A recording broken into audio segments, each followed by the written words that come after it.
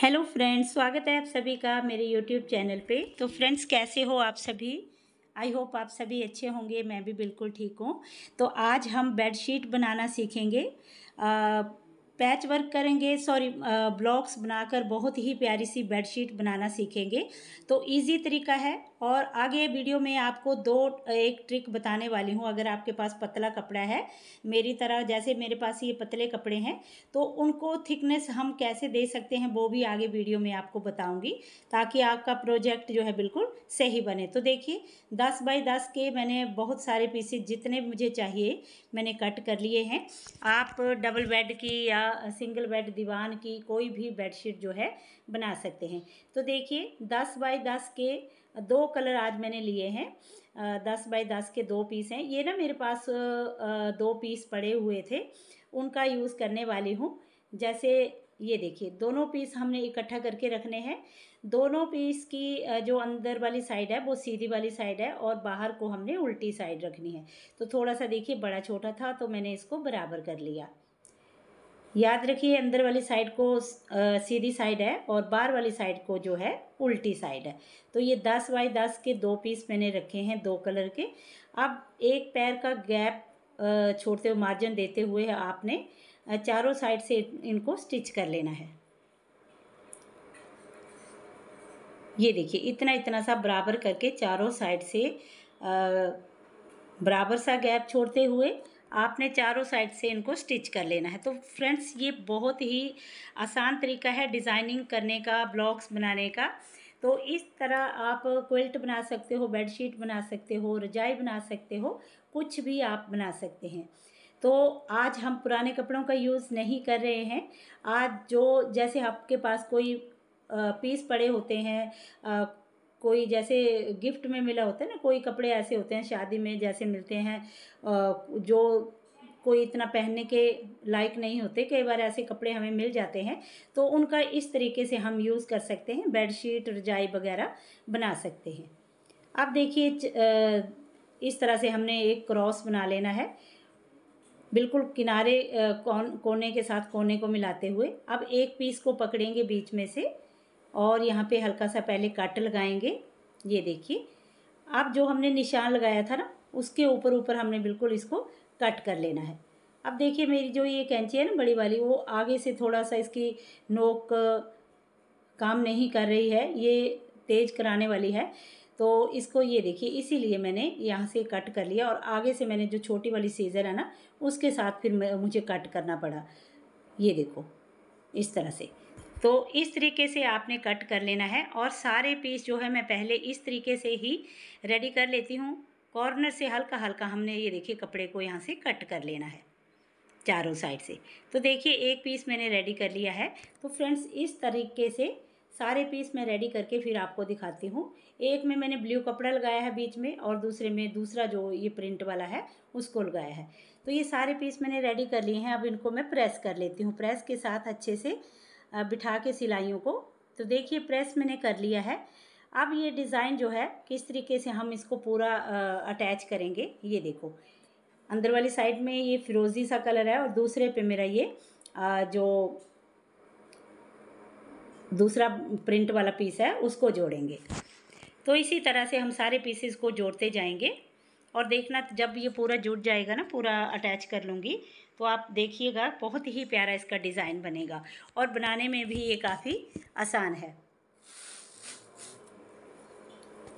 ये देखो, दो पीस मैंने जोड़ लिए हैं। अब इसी तरह से आगे जो है, अगला पीस जोड़ लूँगी। बस इसी तरीके से हमें जितनी चौड़ाई चाहिए ना, उतने पीस हमने जोड़ लेने हैं। जितने भी आपके अगर डबल बेड की बना रहे हो या सिंगल बेड की बना रहे हो तो उसी का बेड का मेज़रमेंट लेकर आप इसको पीस आप उतने ही जोड़ लीजिए, ये देखो। तो मैंने ना चार पीस जोड़े हैं। दो पीस मैं और रेडी कर लेती हूँ। फ्रेंड्स मैं छोटे साइज़ की बनाऊँगी, लेकिन बड़े साइज़ की भी आप इसी तरीके से बना सकते हैं। आगे वीडियो में मैं आपको दिखाऊँगी, अभी ये कपड़ा बहुत ज़्यादा पतला है तो इसमें ना इधर उधर को जा रहा है, लचक सी बहुत ज़्यादा बनी हुई है। जब इसको हम जोड़ेंगे ना तो इसकी जो लचक सी है, इसको ख़त्म करने के लिए, थोड़ा कपड़े को स्टिफ़ करने के लिए ना, आगे मैं आपको वीडियो में बताऊँगी। क्योंकि कपड़ा ना काफ़ी पतला पतला सा है तो अगर आपके पास भी कोई पतले कपड़े हैं, जैसे जॉर्जट हो गया या और भी काफ़ी सारे पतले कपड़े होते हैं तो उनको थोड़ा सा स्टिफ बनाने के लिए ना, हमें क्या करना चाहिए, वो आगे मैं आपको वीडियो में बताऊँगी। अगर उस तरीके से आप बनाओगे तो आपका जो भी प्रोजेक्ट है बिल्कुल भी टेढ़ा मेढ़ा नहीं होगा, एकदम से सीधा रहेगा। तो दो पीस पहले मैं जोड़ लेती हूँ। तो मैंने आपको बनाना बताया है, सिर्फ़ मैं बड़े साइज़ की बेडशीट नहीं बना रही हूँ, लेकिन इसी तरीके से ही आपको बनानी है बड़े साइज़ की बेडशीट जो आप बेडशीट या कुल्ट बना रहे हो ना तो इसी तरीके से बनानी है। आप बहुत सारे पीस जितने चाहिए उतनी सारी पट्टियाँ रेडी कर लिए, कर लीजिए और उनको सभी को जोड़ लीजिए। तो देखो, इस तरीके से आएगा डिज़ाइन के बीच में। अभी ना मैं इसको प्रेस कर लेती हूँ प्रेस के साथ अच्छे से बिठा लेती हूँ। तो देखिए, इस तरीके से आएगा। आप देख सकते हैं डिज़ाइन जो है काफ़ी अच्छा लग रहा है देखने में। तो इसमें ना पहले मैं ये ब्लू वाला कपड़ा लगाने लगी थी तो फिर बाद में ना मुझे ये ब्लू वाला जो था, थोड़ा सा कम था तो मैंने इसको छोड़ दिया। बाद में मैंने दूसरा कपड़ा लगाया।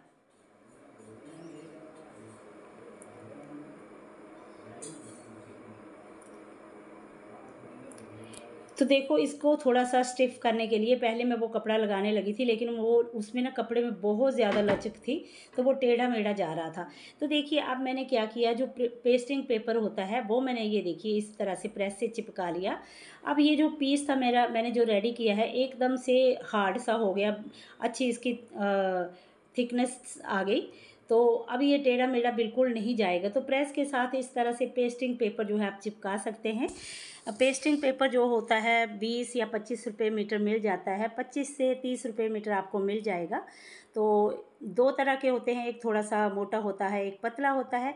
तो मैंने जो सबसे पतला वाला होता है ना, सस्ते वाला, वो मैंने यूज़ किया है। ये देखिए, अब हमने जो सिलाइयाँ वगैरह लगाई थी, वो भी हमारी देखिए बीच में, इसके बीच में छुप गई और ये हमारा अच्छा प्यारा सा हार्ड सा पीस जो है बनके रेडी हो गया।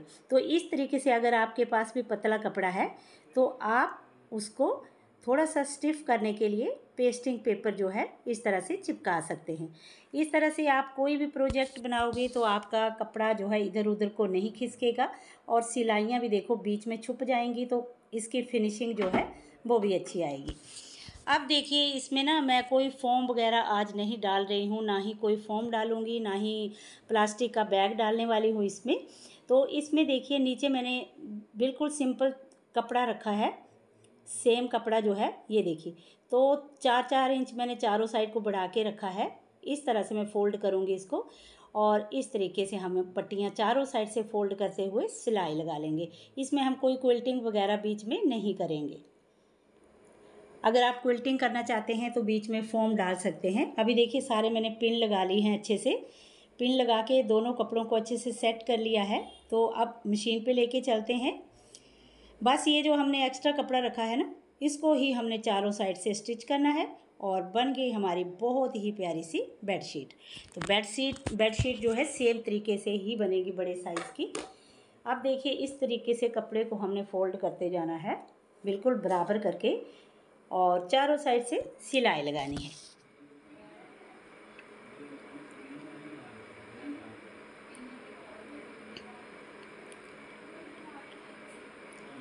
तो ये कॉटन फैब्रिक है जो मैंने आज यूज़ किया है। तो कॉटन की बेडशीट आप इस तरीके से बना सकते हैं। अगर सर्दियों के लिए बना रहे हैं तो आप वेलवेट की या और भी बहुत सारे कपड़े होते हैं, उनकी आप बना सकते हैं। और अगर गर्मियों के लिए बना रहे हैं तो आप कॉटन फैब्रिक का यूज़ कर सकते हैं। ये देखो, एक साइड से पट्टी मैंने लगा ली। अब दूसरी साइड से इस तरीके से हमने इसको फोल्ड करना है।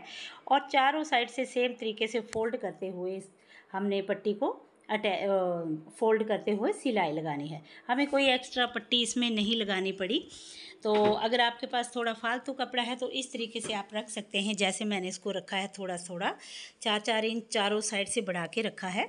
अगर ज़्यादा कपड़ा नहीं है तो आप एक्स्ट्रा पट्टी भी लगा सकते हैं। मैंने सेम ही पट्टी लगाई है इसमें। तो ये वाला जो डिज़ाइन है, ये भी मुझे काफ़ी अच्छा लगा। बहुत सारे वीडियोस में मैं आपको बताती हूँ बहुत सारे कलरफुल से, लेकिन आज मैंने ये दो कलर का यूज़ किया है। ये भी मुझे काफ़ी अच्छे लगे ये देखने में। बिल्कुल यूनिक सा और अलग सा हमारा ये प्रोजेक्ट जो है, बना है। तो देखिए, चारों साइड पे पट्टी, तीनों साइड पे मैंने लगा ली है। आप लास्ट वाली फिर से इस तरीके से फोल्ड करते हुए। और देखिए, बीच में हमें ना कोई भी इसमें सिलाई वगैरह नहीं लगानी पड़ी, क्योंकि इसमें ज़रूरत ही नहीं पड़ेगी आपको। तो अगर आप बड़े साइज़ की बेडशीट बनाओगे डबल बेड की तो आपको पेस्टिंग पेपर जो है लग जाएगा आपका एक लंबाई में आपका जैसे ना दो मीटर लग गया। तो इतना ही आपका चार मीटर लग जाएगा। बस यही आपका जो है पेस्टिंग पेपर का खर्चा आएगा। तो बीस रुपये मीटर अगर आपको मिल गया तो चार मीटर आपका अस्सी रुपये का आ गया।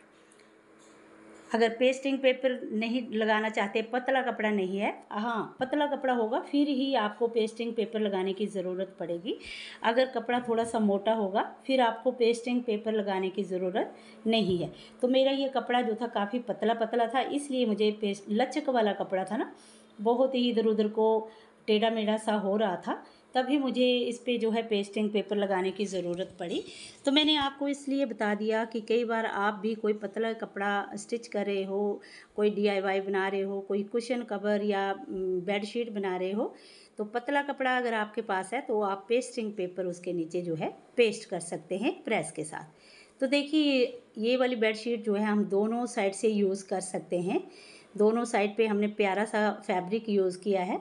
तो देखिए, एक साइड से बिल्कुल प्लेन आ जाएगी प्रिंट वाली। यहाँ कोई डिज़ाइन नहीं आएगा तो इस साइड से यूज़ करेंगे तो ये हमारा डिज़ाइन वाला आ जाएगा। तो देखिए, ये जो आज की हमने बेडशीट बनाई है, इसको हम दोनों साइड से यूज़ कर सकते हैं, रिवर्सेबल है तो दोनों साइड से हम इसको यूज़ कर सकते हैं।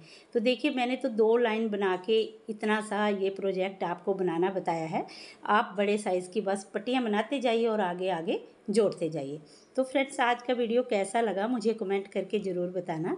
और अच्छा लगा है तो वीडियो को लाइक, शेयर भी कर देना और चैनल पे पहली बार आए हो तो चैनल को सब्सक्राइब भी ज़रूर कर लेना।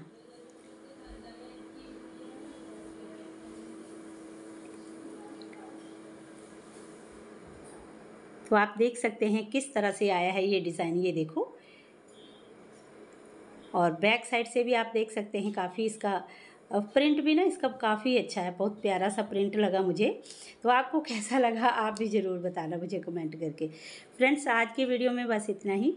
मिलती हूँ नेक्स्ट वीडियो में। तब तक के लिए bye bye take care and thank you